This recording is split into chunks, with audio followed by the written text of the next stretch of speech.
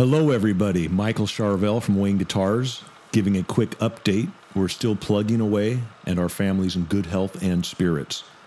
In this video, I'm making a custom part on our Bridgeport milling machine.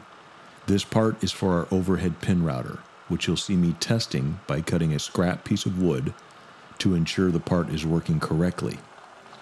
In this next shot, you see me routing out a body. I'm just checking templates, making sure they're working correctly, and they are. At some point, we will reintroduce the Wayne guitar line.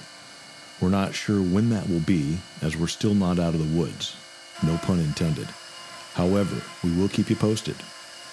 In the meantime, I've always wanted to give back and share my knowledge in the form of teaching.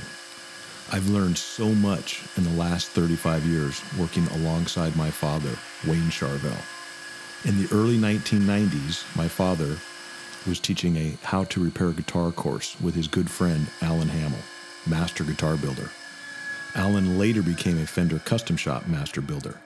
I always thought to myself, I want to teach someday. Well, that day has come. Very shortly, I'll be offering a one on one, in depth guitar assembly course. This will be a limited offer, so stay tuned. We will keep you posted via Facebook and our Wayne email list.